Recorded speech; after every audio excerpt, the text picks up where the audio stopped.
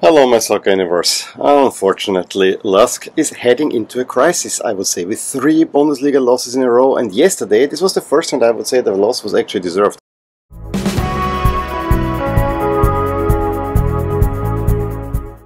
On Saturday, we had the first win for Austria Klagenfurt 1-0 away at Tirol. A Tirol team that started well into, into the season, but you know, results have been lagging as, as of late, so we gotta see maybe Austria Klagenfurt manage a turnaround.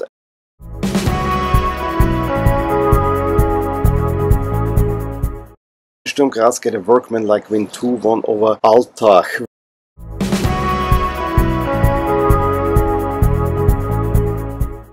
Austria Vienna were overall the better team. It was a wild game that had many chances, however most of them fell to Austria Vienna, who actually scored two goals early on. One was a ruled out for a foul, one was uh, ruled out for an offside, and then LASK took the lead because Austria Vienna gifted them by playing it out from the back. The ball goes to Berisha, who then squares it to Ljubicic into the empty net. And I'm thinking, yes, this might be the spark. However, just a minute later, Austria Vienna had already equalized through Maurice Malone, who the LASK defenders never could get under control, but I guess you should have prevented the cross to begin with. It's 1-1.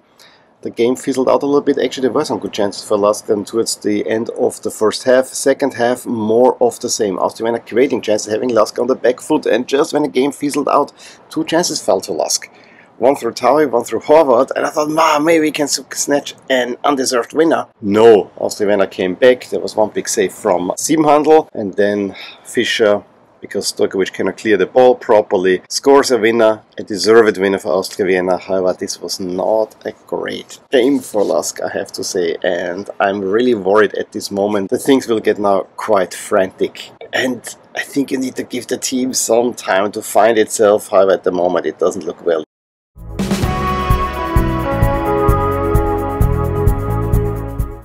We had then the standard result of the season also in the second Linz v Vienna battle. Blau-Weiß Linz beating Rapid with 25% possession, 3-0.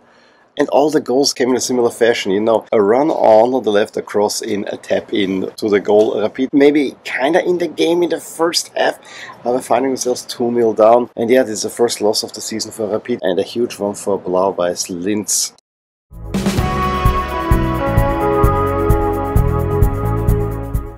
And then lastly, Wolfsberg also get a little bit the monkey off the back. Again at home, again they score four goals. They had a 4-0 lead over GAK. GAK pulled back too late. Overall, Wolfsberg kind of have their nerves a little bit settled after losing two in a row.